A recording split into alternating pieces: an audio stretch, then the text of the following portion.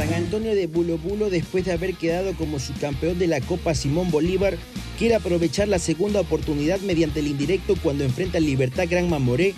Este encuentro de ida tendrá la novedad de que San Antonio hará de local en el principal escenario deportivo de Cochabamba. El equipo del Trópico recibirá a Mamoré en el Félix Capriles. Thiago Leitao cuenta con equipo completo para este encuentro, con la reaparición de Carlos Preciado que no disputó el partido de vuelta en Oruro ante GB San José. San Antonio buscará tener la ventaja en condición de local, esperando cerrar la llave en Trinidad en el partido de vuelta. El estratega brasileño también confía en el proyecto deportivo que tiene el equipo del Trópico.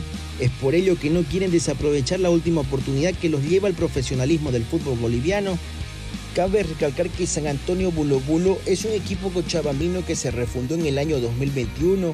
Hoy pelea por ascender a la primera división profesional del fútbol boliviano de la mano de Tiago Leitao como director técnico y jugadores de experiencia como Henry Alaca, Fernando Castillón, Jaime Arandia, Rodrigo Borda, entre otros. Sports.